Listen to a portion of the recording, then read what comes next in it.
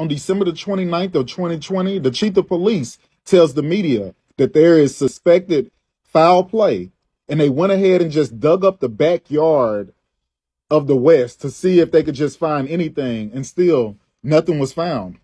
On January the 2nd, the adoptive extended family of the boys released a statement saying that they just really hope that those boys make it back safely. And at the same time, they go ahead and let everybody know that they've been targeted. They've been targeted by rocks. They've been targeted by death threats.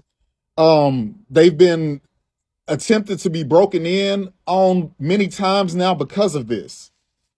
By January the 4th, everyone is really feeling this. The town just starts to offer up rewards. Businesses get together.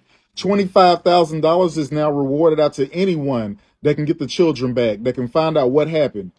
This just quickly starts to go up. Now it's raised all the way to $125,000. Still nothing. The boys are still missing.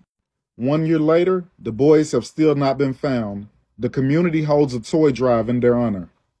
March 1st, 2022, Trezell and Jacqueline are indicted and charged with second degree murder.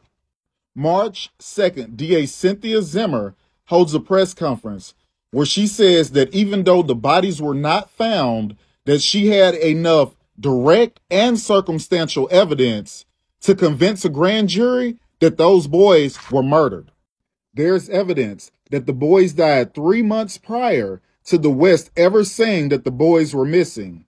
Trial is set for May 23rd.